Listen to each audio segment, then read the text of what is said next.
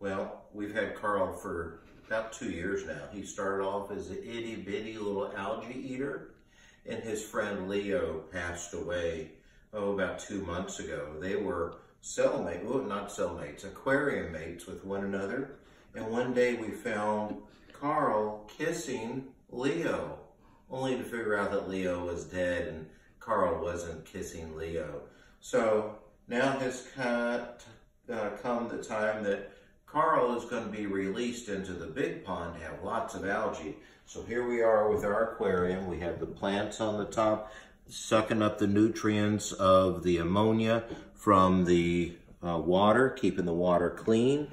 And we had this circulating with pumps. And now Carl needs more algae to eat and more decay. So we're going to take him out to our friend the trembles and release him in the wild with his friend the big mouth bass and all sorts of other little fish like perch and, and minnows and such. So we hope that he can clean up the Trembles garden and their pond. So here begins our journey for Carl from home desk to the farm. So now we have Carl and all his pumps and heater is gone. His roof of his beautiful plants are out and Carl is hiding in his favorite cave.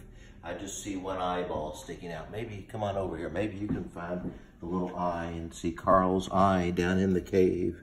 Can you see him there? Yep. So Carl is going to go for a ride and we're going to put him down here in this big, big tote so that when he sloshes in the car, he'll water will slosh out, or if he decides to jump out, he'll just jump and be in our bucket. All right, next journey is to the Escalade. Here comes Carl, past the laundry machine. Last time he came through here was two years ago. He was just a minor little tadpole, but now he's a killer algae eater. And come on, follow me. Now, going for a ride in the old Cadillac, sometimes called Dad's Miracle. It's 18 years old now, 140,000 miles, going strong. So here we go, in the back, for a ride. Hopefully this isn't the Green Mile, and Carl's gonna grow and be bigger, and this is not his death sentence. All right, come on, we're gonna shut it, and we're going for a ride. Car started. Here we go, backing out the driveway. We have Carl in the back, Tilly in the back seat too. Mom decides she wants to join us and, and join us and say, Bon voyage, Carl. Happy algae eating. First off, I want to show you where Carl's new home is. It's over here in this big pond.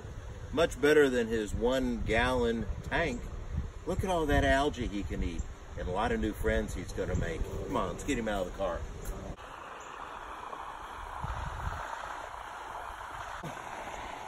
Well, here we are at the pond. Water level's down a little bit compared to the spring, but it's still up. We've been in a drought. So I put on my waders, headed to the edge of the pond. Carl's still hanging out in his castle. So it's Carl's castle. So Mom wants us to leave the castle, so he has a place to hide here amongst his new friends.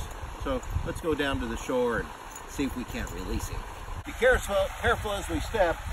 It's a little spongy, though Tilly the dog has already been in, went for a swim, full of mud. Oh, she's black now. There she goes. Hi, Tilly. You enjoying the release of Carl? So here we go. Hey, Boomer. There's frogs all sorts of little guys. So here I go. So we need to pull out Carl's nice little plants. There it is. Stayed green, never turned brown. We're gonna get our moss ball. Look at that, moss ball. We're gonna put it right there It's to grow. Now, let's see. Down in the muck and the mire.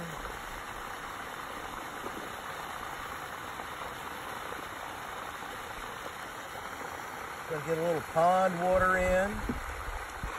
See if we can get a little pond water in to acclimate him to the temperature and the new water. Here we go. Carl's still hanging in his castle. And, oh, I'm stuck in the muck.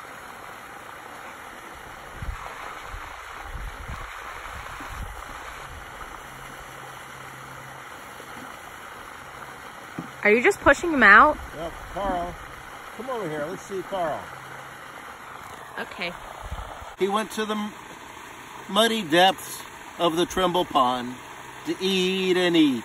Hopefully, not to be eaten. All right. So here comes Carl from PetSmart to Pet Paradise. All right. Ta-ta.